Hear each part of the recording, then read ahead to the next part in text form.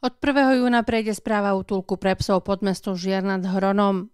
O psíkov odchytených na území mesta a umiestnených do útulku sa tak budú starať zamestnanci mesta, ktorí privítajú aj pomoc dobrovoľníkov.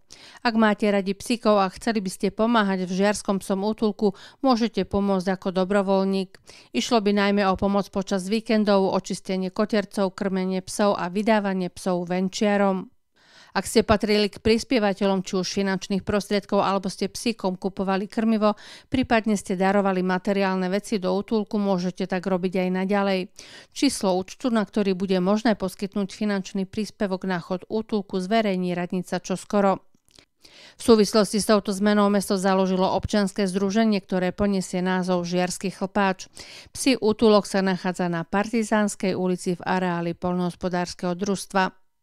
Mesto zároveň príjme do pracovného pomeru pracovníka do útulku, ktorý bude mať na starosti pomocné práce spojené s prevádzkou útulku. Ide o pracovný pomer na kratší pracovný čas, to je na 4 hodiny denne.